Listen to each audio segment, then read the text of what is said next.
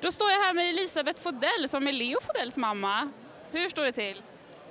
Det är bra, men nervöst. Väldigt nervöst. Nu är det lite lugnare. Det var väldigt nervöst förut.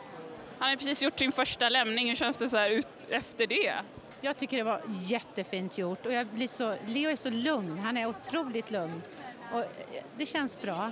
Jag tycker det var väldigt fint. Jag, tycker det, jag sa det förut att han gör lite asiatiskt i sina uppläggningar. tycker jag är jättefint. Vad kommer ni göra här idag under dagen? Då kommer vi stå här och tanka lite, sen kommer vi gå och ställa oss längst fram och titta när han gör nästa rätt.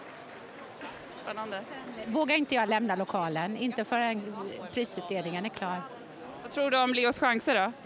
Jag tror de är jättestora. Har han alltid varit intresserad av mat?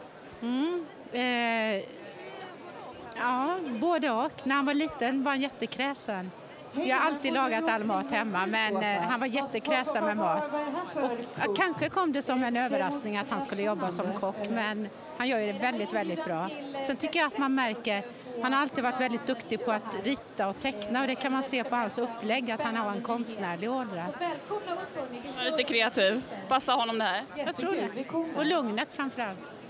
Vad ser du mest fram emot med dagen?